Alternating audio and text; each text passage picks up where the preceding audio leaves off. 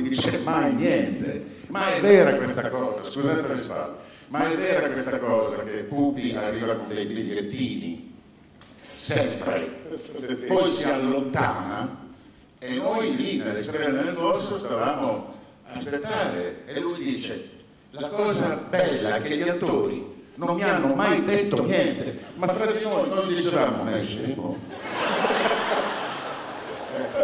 Però sono ancora Tutto qua, insieme. tutto qua. Gianni Camina. Ciao. Grazie Gianni. Ciao. Ciao. Poi, Pupi è una sorta di labirinto oscuro. Quando credi di aver trovato la via d'uscita ti rendi conto di dover ricominciare da capo. È un mago che tende a stupirti, a volte ho l'impressione che stupisca un po' anche se stesso. Lino Capolicchio.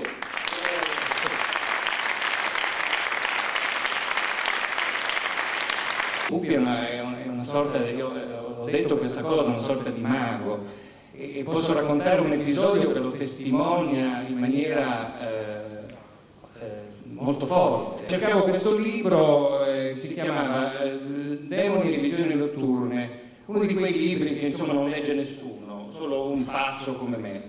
E lo- niente, mi dicevano guardi questo libro è esaurito, non lo trova da nessuna parte, sono andato al saggiatore a Milano, non- non- insomma erano state pubblicate poche copie quindi. E vengo a Roma e parlo con Pupi e gli dico guarda, eh, io seguo le- ho seguito le orme di un pittore austriaco di origine boema, molto strano, molto inquietante, molto curioso, ha scritto questo libro, vorrei, insomma, mi piacerebbe leggerlo.